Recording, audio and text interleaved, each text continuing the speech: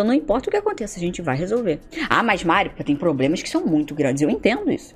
Só que para chegar nesses problemas grandes é porque você ignorou alguma coisa antes. Então, essa é uma visão que a gente tem que instalar antes. Não depois que a merda já estourou. Aí é outra coisa. Então, o que, que eu defendo? Você chegou, o homem chegou para mim. Meu casamento tá assim, assim, assado. Você é casado só no civil? Sou. Então, Vamos resolver para você aprender a lidar com isso, para isso não se repetir na sua vida, porque todo problema dentro de uma relação tem a sua parcela de responsabilidade. Não existe uma pessoa 100% culpada e você é a vítima. Não existe isso. Tem em alguma coisa, nem que seja assim, numa permissão que você deu, alguma coisa você pra permitiu mim é sempre aconteceu. 50-50. Sempre 50-50. Então vamos aprender com isso. Por que, que isso aconteceu? Qual foi a sua colaboração nesse problema? Se você foi traído, se foi problema com dinheiro, se foi agressão verbal, se foi. Não sei. Vamos aprender isso para você se desenvolver e você levar isso para uma próxima relação. Então, se não é casado é, no religioso e a situação foi extrema, foi uma agressão, foi um golpe, sabe? Coisas assim realmente uhum. muito profundas. Aí eu falo, olha, quer tentar? Pode tentar. Mas, se não, eu não quero, tô realmente esgotado e etc. Beleza. Então separa. Separa, mas leva isso pra sua vida para na próxima você não separar. Para você casar, para realmente você levar isso para sua vida. Claro, para quem acredita e para quem quer viver isso. Não tô brigando ninguém a fazer isso, não. Entende? Agora, não, Mari, eu quero realmente restaurar meu casamento. Beleza, então vamos lá. Existem renúncias, existem sacrifícios a serem feitos. Uhum. É fácil? Não, não é fácil. Mas nada é fácil nessa vida mesmo, né? Então, a gente só escolhe qual difícil que a gente quer viver. O ponto ali, então, é o casamento religioso. É, se, eu, se é casado na igreja, aí eu falo, não, então não tem separação. A não ser que o casamento ele tenha sido inválido de alguma forma. É, no, no, catolicismo a gente não. Tipo, a gente... é broxa só, né? é, vamos, vamos, botar as palavras certas aí. Deus, que horror, gente. Deus não gosta dos brocha, pode ah, sair é? fora. É isso mesmo? Eu não sei. Não? Essa é coisa dele. É. Não, não é que é broxa, é se o cara não é comprovada, comprovadamente infértil, né? É, se por exemplo a pessoa ela é infértil e não comunicou. Mas infértil não é broxa, pô. mas é, ele, ele ia perder a oportunidade. É, mas eu já vi caso, por exemplo, de, de casamento inválido, porque a pessoa tinha problemas é, de sanidade mental e não comunicou, fazia tratamento e não falou. Aí a pessoa casou, a pessoa tava dando surto, opa, peraí. Não sabia que essa era você. Hum. Pode desvalidar. É, já vi caso de casamento que a pessoa, a mulher confessou pro cara que ela não queria ter casado com ele. Que ela casou só pra sair da casa dos pais. Então, a partir do momento que a pessoa confessa isso, ela tá falando que ela casou contra a vontade dela. Ela não queria, de fato. Ela não, ela não fez uma promessa válida. Entendi. Então, a pessoa pode também é, ir lá e pedir anulação. Pedir anulação. É, então, tem algumas situações que sim, pode ser, pode ser tá, Mas não é muito sofrido tu ficar com uma pessoa ali, mesmo quando já viu que não dá mais certo? Quando mesmo casado Mas religioso. Que é não dá mais certo. Não sei, né? a pessoa acha que não. É, isso é muito individual, porque Geralmente, quando a pessoa acha que não dá mais certo, é porque ela tá passando por um problema e não tá vendo a solução. E às vezes tudo que ela precisa é de uma orientação para conseguir solucionar, sabe? É, quantos casos eu vi de, de homens com pô, mulheres extremamente masculinizadas, um, um, tratamento frio ali a vida inteira. Pô, não aguento mais, a gente não faz sexo, não tem um carinho, não tenho, eu não tenho aquela companheira que eu chego em casa cansado do trabalho e aquela pessoa que vai me receber e vai ser meu momento de relaxamento, de estar com ela ali, a gente curtir junto e tal. E a pessoa realmente se sente assim, rejeitado, né? Dentro da própria casa, não sente a casa como um refúgio. Muito, pelo contrário, o cara começa a procurar o refúgio no trabalho. Só quer ficar fora de casa porque chegar em casa é terrível. Mas tem solução, sabe? Eu ainda não vi um problema que não tenha solução. O lance é o quanto a gente quer pagar, a gente está disposto a pagar para chegar na solução, porque o caminho às vezes é árduo mesmo né? Você renunciar, você baixar o ego, geralmente é muito ego que a gente carrega, mágoa. É, o quanto você está disposto, às vezes, a deixar isso tudo de lado para restaurar a relação. É realmente difícil, não é fácil, não. Mas eu acho que a gente tem que parar de fugir do que é difícil. Cada um escolhe o seu, né? Não, mas é, entre o difícil e ser sofrido, acho que são coisas diferentes, assim, sabe? Hum. Tem, tem sofrimento. É que, também. é que eu entendo o lado da Mari é, falou, é, porque no, é lado, no lado da igreja, no lado religioso, quando tu faz a promessa do teu casamento, é na desgraça e na coisa boa. É, é na sofrido é? que que, e no não sofrido, né? O que que, o, então... o que que a gente fala no altar, né? Na saúde e na doença, na riqueza e na pobreza, em todas as situações. Amar não é só quando tá fácil.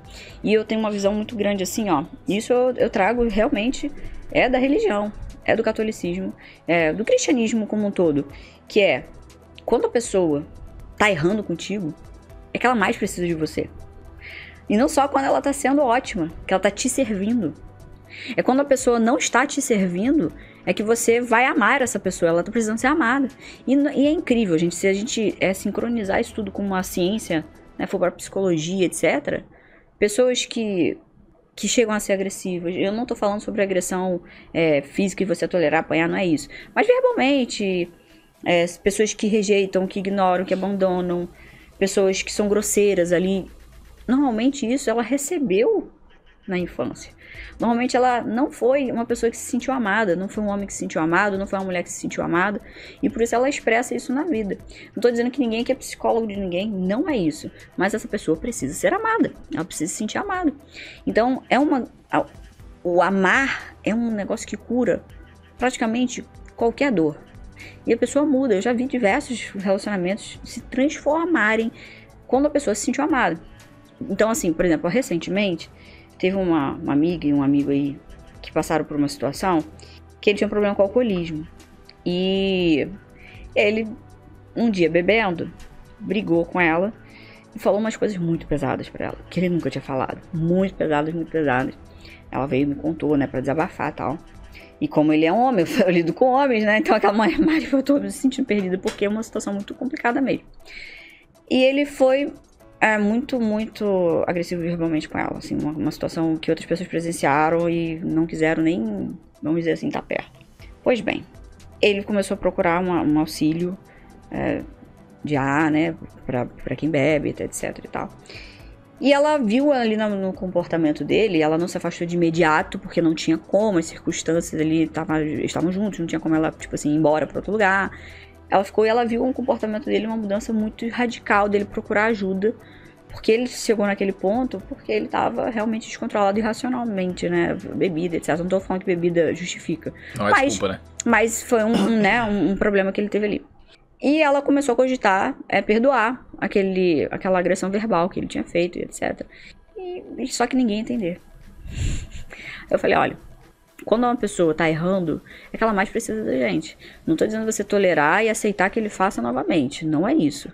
Mas você tratar essa pessoa bem e mostrar para ela que ela, mesmo sendo imperfeita, ela também pode ser amada, assim como nós somos imperfeitos, a gente também erra, só que na maioria das vezes o erro do outro é maior do que o meu sempre, né? O meu sempre tem uma justificativa, o do outro não. É assim que a gente vive. Então, quando você mostra para essa pessoa que, que ela pode ser amada mesmo errando, você constrange a outra pessoa, a outra pessoa fica com vergonha. Fala assim, cara, eu sou um merda, eu sou uma bosta. Porque ainda assim essa mulher esteve comigo. Corrigindo, porque quem ama corrige, intervindo, colocando limite, sim. Mas mostrando para a pessoa que ela é humana também. Eu também tenho erros, eu também tenho falhas e por aí vai.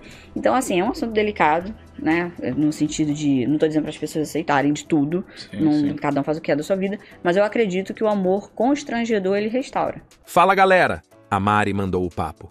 Bora pra Minja Opinião. Hoje em dia, as coisas estão muito bizarras. A galera casa e não dá nem um ano, já está largando. Por isso que eu acredito que hoje em dia não vale mais a pena se casar, ninguém realmente tem o interesse de fazer os sacrifícios necessários para dar certo. E se caso você, homem, estiver passando por esse tipo de situação, não se esqueça que ficar correndo atrás, se esforçando mais, ficar agradando, nada disso vai resolver o problema, pois a mulher precisa admirar o homem dela. Ela precisa sentir que esse cara é único e que se ela perder, vai ser impossível encontrar outro assim. Por isso, não se esqueçam de se desenvolver e melhorar a cada dia, não só o corpo, mas a mente também. Estude, ganhe mais grana, se torne um cara que a sua mulher olhe e tenha admiração pelo cara que você é. Fazendo isso, eu te garanto que ela vai se esforçar ao máximo para manter a relação. E você aí, o que achou disso? Coloque sua opinião nos comentários. Eu quero saber.